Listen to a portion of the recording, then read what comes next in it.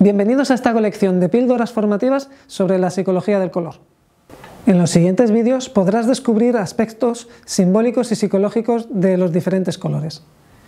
Podremos descubrir qué sensaciones nos producen, cómo nos pueden hacer sentir en una habitación o qué connotaciones tienen según la época histórica o la latitud en la que nos encontremos.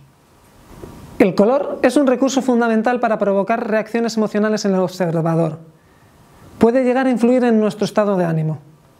Por ello, los colores llegan a definirse con adjetivos específicos del ámbito emocional y sensitivo, como frío, cálido, relajante, excitante.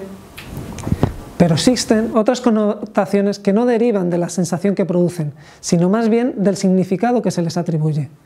Los colores tienen multitud de significados simbólicos, causa de connotaciones culturales y sociales.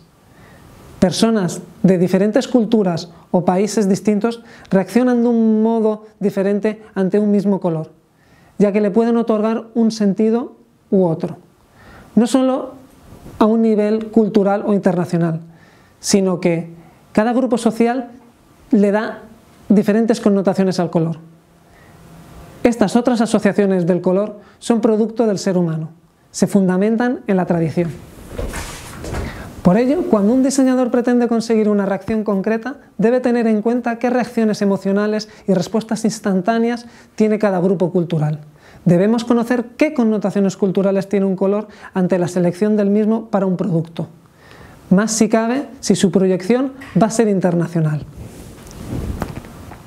Los vídeos posteriores son una aproximación explorativa sobre las connotaciones de los colores.